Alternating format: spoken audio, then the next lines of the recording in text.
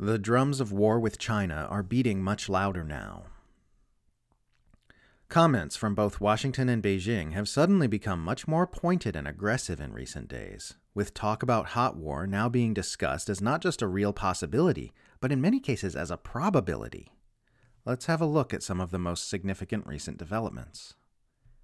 Beijing comments on U.S. encirclement the Chinese government has finally broken from its usual restrained commentary on the way the empire has been aggressively encircling the PRC with war machinery in ways that Washington would never permit itself to be encircled, and waging economic warfare that it itself would never tolerate. Western countries, led by the US, have implemented all round containment, encirclement, and suppression against us bringing unprecedentedly severe challenges to our country's development, President Xi Jinping said in a speech last week. China's new foreign minister Qin Gang followed up on Xi's comments the next day with a warning of conflict and confrontation should U.S. aggressions and encirclement continue. If the United States does not hit the brake but continues to speed down the wrong path, no amount of guardrails can prevent derailing, and there surely will be conflict and confrontation, he said, adding, Who will bear the catastrophic consequences? Such competition is a reckless gamble, with the stakes being the fundamental interests of the two people and even the future of humanity. One of the most hilarious empire narratives we're being asked to believe today is that the U.S. is militarily encircling its number one rival, China, on the other side of the planet defensively. The US is very plainly the aggressor in this standoff, and China is very clearly reacting defensively to those aggressions. These comments come not long after PRC Foreign Ministry spokesperson Mao Ning issued a stern warning to the U.S. to stop walking on the edge, stop using salami tactics, stop pushing the envelope, and stop sowing confusion and trying to mislead the world on Taiwan, calling the Taiwan issue the first red line that must not be crossed in U.S. China relations. As we've discussed previously, these increasingly frequent red line warnings are very similar to the ones that were being issued with greater and greater urgency by Moscow before U.S. brinkmanship provoked the invasion of Ukraine committing to war with China over Taiwan.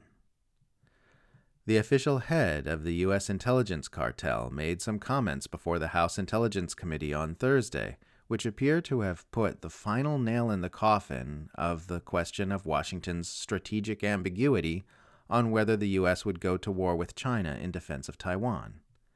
Asked by Congressman Chris Stewart about President Biden's increasingly explicit assertions that the U.S. would go to war with China over Taiwan, Director of National Intelligence Avril Haines asserted that, despite the White House's repeated walkbacks of those claims, it is clear to China that this is in fact Washington's actual policy on the Taiwan question.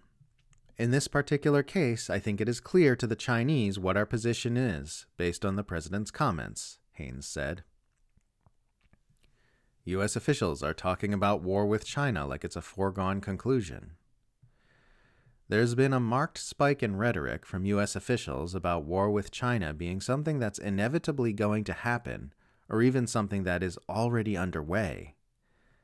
At a Senate Intelligence Committee hearing on Wednesday, Senator John Cornyn expressed concern that difficulties in replenishing weapons stocks from the proxy war in Ukraine indicate that the U.S. may not yet be ready to fight a shooting war in Asia.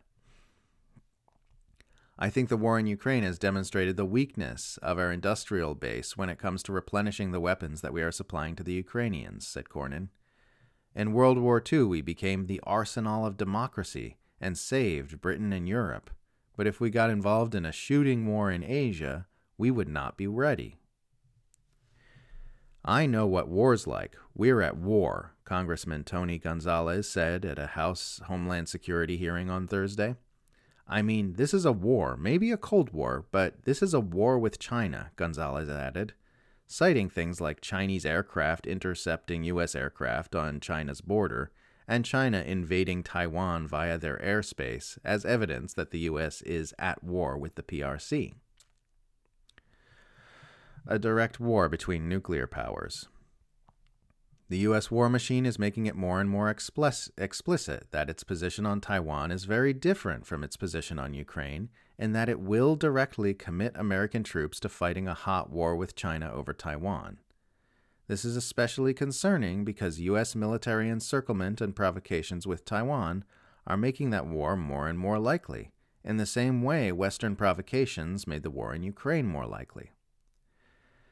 Sending more weapons to Taiwan isn't deterrence, it's a provocation, tweeted Anti War's Dave DeCamp, who's been documenting U.S. provocations in Taiwan more thoroughly than anyone else I know of.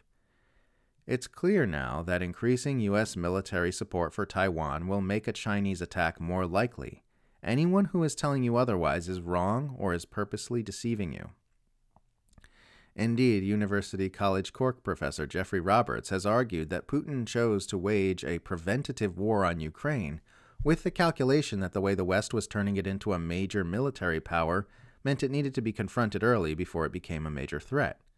The exact same thing could easily be happening with Taiwan. China is the big one, DeCamp also tweeted recently. Both sides are talking as if war is inevitable, not a proxy war, a direct war between two nuclear powers. It can't happen. The U.S. needs to change course and stop its military buildup in the Asia Pacific, or we're doomed. Couldn't have put it better myself. This must be opposed, and opposed forcefully. Now, more than ever, humanity appears to be on track toward the unfolding of a chain of events that leads to the worst thing that could possibly happen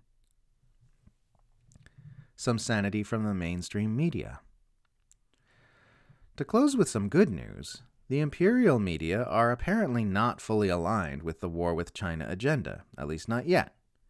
All the insane hawkishness mentioned above appears to have scared some sense into some influential voices in the mainstream media, with surprisingly anti war arguments emerging in the last few days.